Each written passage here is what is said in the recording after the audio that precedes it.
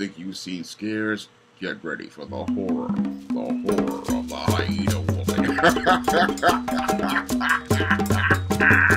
DC Comics is moving its offices from Burbank, California to a hot desk model. Now, your DC Comics had moved from the publishing capital of the world, New York City, to Burbank, California around 2011 or 2012 in an effort to go out here and synergize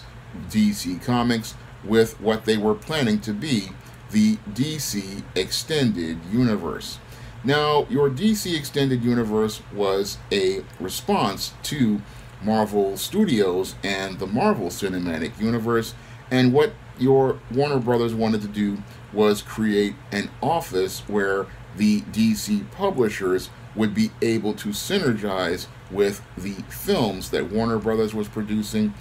as related to the DC Extended Universe. And at the time, DC was seen as a valuable asset to Warner Brothers, and as a result, your DC's offices were an elaborate three story uh, office with lots of glass and lots of really high tech stuff inside. So they, the DC offices were meant to go out here and give the creators a lot of energy so that they could go out here and create some really great comics. Unfortunately, the move to Burbank really did not help DC Comics be able to go out here and be successful. And it really didn't help the DC Extended Universe as well, because in the aftermath of the move to Burbank, the DC Extended Universe did not go out here and be as successful as the Marvel Cinematic Universe, which became a major part of pop culture. No, films like Man of Steel underperformed, and other films like Batman v Superman Dawn of Justice just did not get the attention of fans the same way the MCU did. Now, while films like Wonder Woman, Shazam, and Aquaman did well at the box office, it did not really help the DC Extended Universe build as a brand. And in addition to your DC Extended Universe underperforming,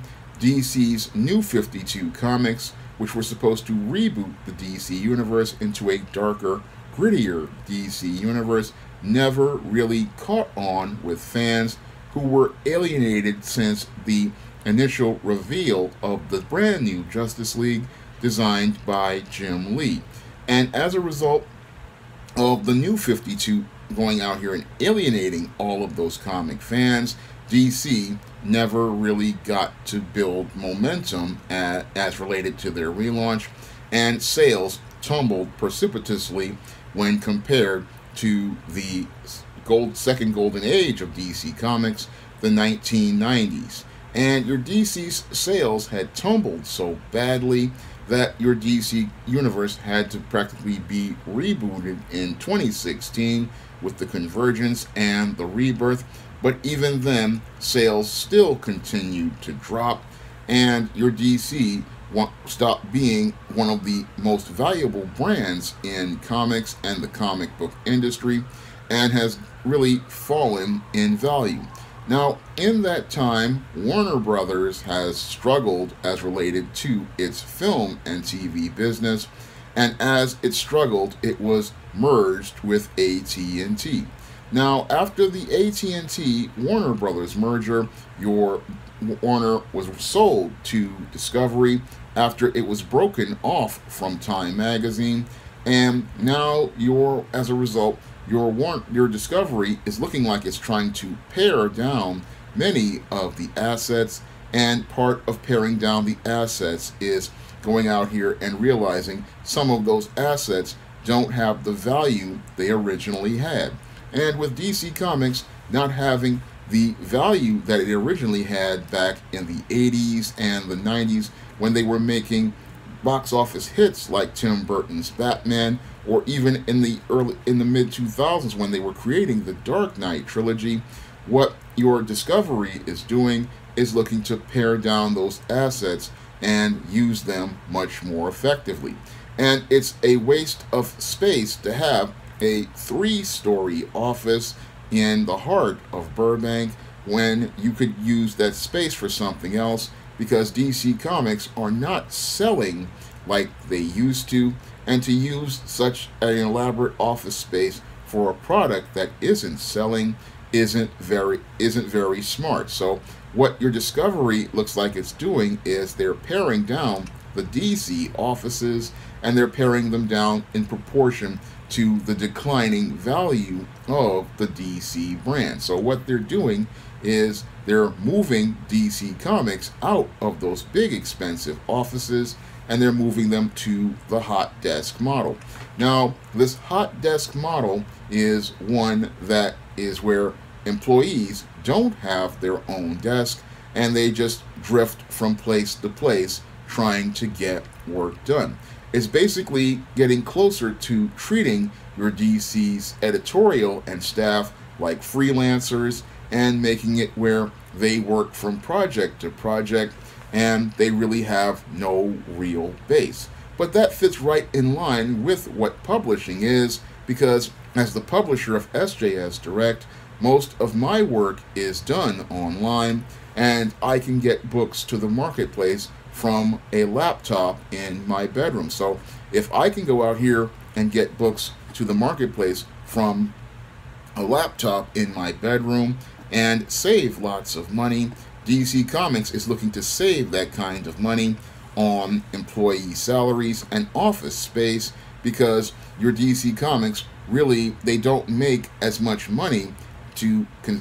to have an office and pay all of that rent because many of your DC comics don't sell very well. I mean, the only titles currently selling right now at DC Comics are Batman titles and Batman family titles like Nightwing and many other DC characters' books are struggling in terms of sales. So they have to find a way to minimize the cost on the publishing division and the best way to minimize the cost on the publishing division is to reduce overhead. So that's the main reason why they're moving the DC Comics offices out of Burbank is to reduce overhead because they've been taking such losses on their catalog of books and the only thing that's possibly selling right now are reprints. So in order to go out here and pay for those current books that are a part of the DC catalog, what they're doing is they're cutting many of the um, overhead costs so that they can continue to be able to publish. Because the only value that DC currently has right now because of the damage that was done due to Dan Didio launching the New 52 and Warner executives launching the New 52 to reboot the DC universe is the intellectual property rights and those intellectual property rights, as I see it, look like they're declining in value because many DC fans have walked away from DC Comics, and outside of Batman, most DC Comics fans no longer see DC superheroes as relevant. So they are looking to find ways to lower the value of the asset that they have and they're looking for ways to try to minimize it so they can try to generate some sort of revenue off of the DC catalog. Now, this is a sad state of affairs for DC Comics because I remember back in the 90s how highly valued the DC brand was coming out of the 1989 Batman movie. And over the course of the 90s, the DC Comics brand was considered an extremely valuable asset to Warner Brothers, but that value has declined over the years. I mean, I remember in the mid 2000s, DC was still a asset with things like the Dark Knight trilogy, and it was also an asset with merchandising like DC Direct and DC Universe Classics. Unfortunately, due to mismanagement, the DC Universe Classics line ended around 2011 and DC Direct, which was creating a lot of revenue through its action figures, wound up ending, I think, about 2017 or 2018. And we DC Comics has not really recovered from the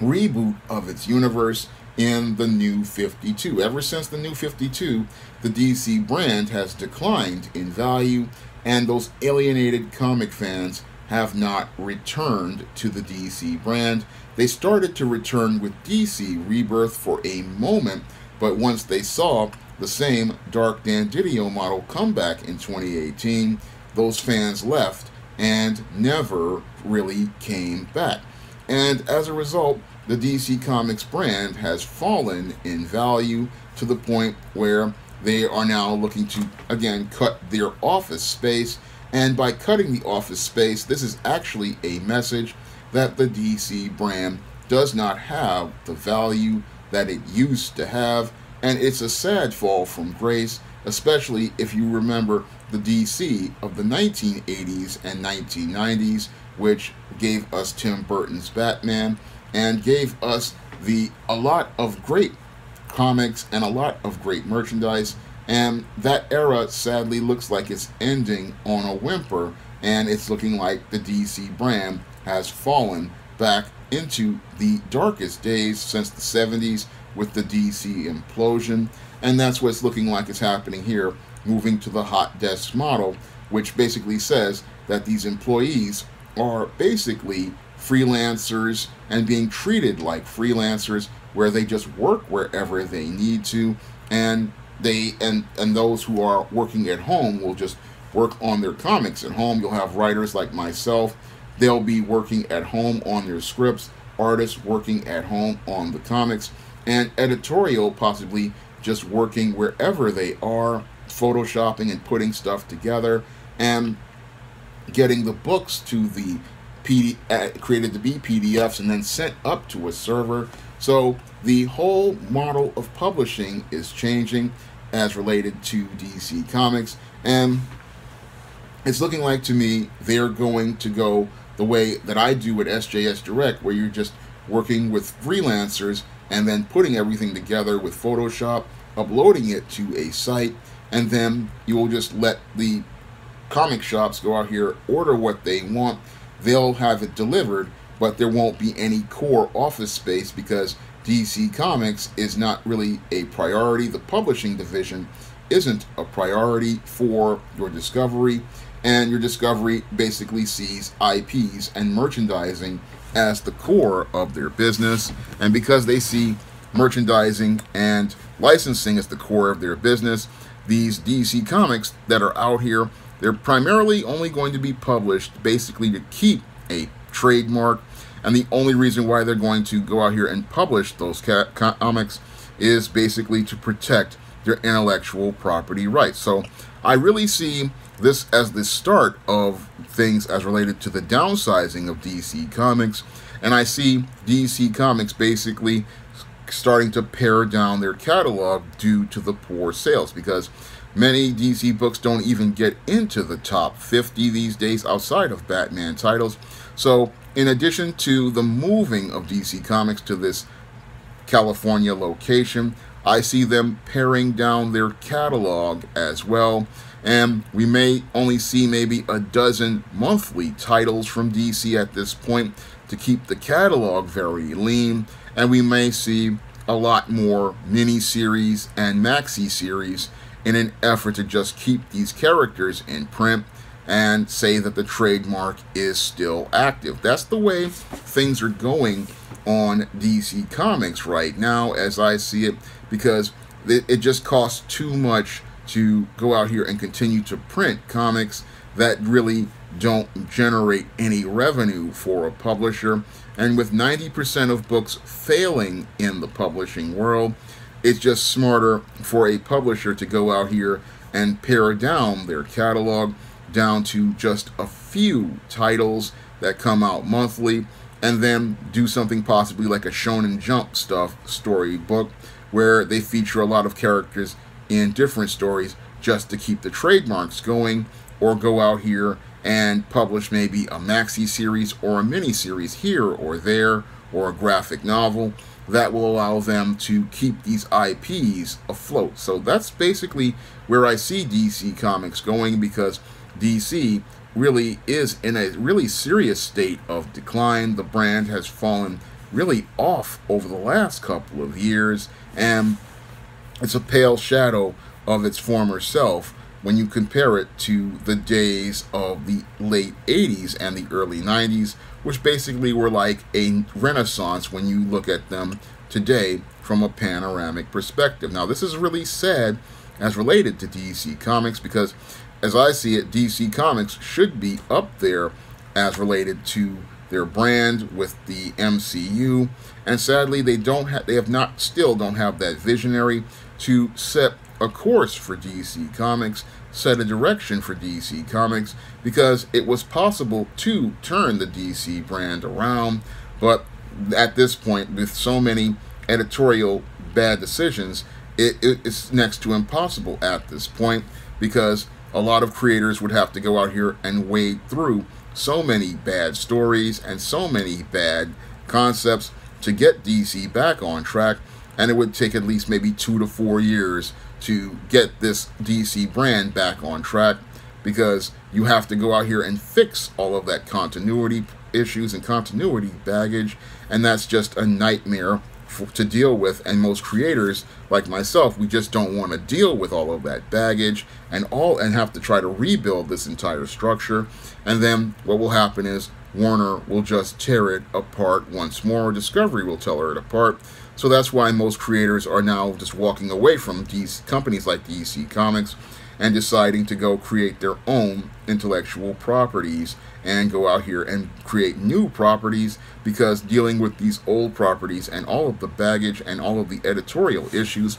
is just not worth the time. So it's sad to see DC Comics wind up like this, but this was something that was a decade in the making. The decade and a half of dysfunction of Dan Didio led to a lot of damage to the DC brand, and this cost them licensing, cost them merchandising, and now it's looking like it's costing DC their offices. And it look, and as I see it, that we may this is just the beginning of the end of DC Comics, which outside of a miracle won't be coming back for another Renaissance or Golden Age. Now, if you want to see me make more comic related videos like this, you can donate to my Patreon, my PayPal, or my Cash App by clicking the links in the description box. And if you want to pick up some of the action packed fantasy on the SJS Direct imprint, like the ISIS series, the E Steam series, the John Haynes series, or the books of the Spinsterella trilogy, you can find those books on Amazon.com in paperback and Kindle format.